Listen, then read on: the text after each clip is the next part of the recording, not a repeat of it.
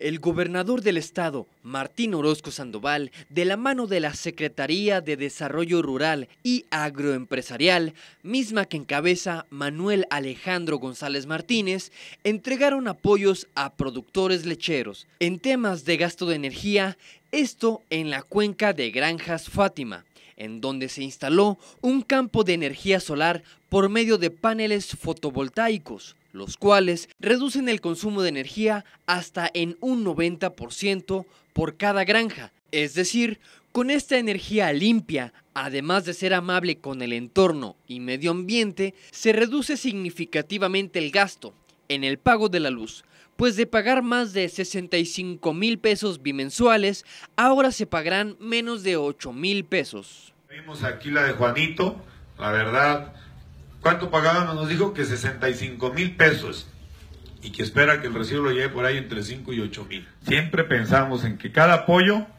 se convierta en que esa empresita tenga más utilidades para crecer.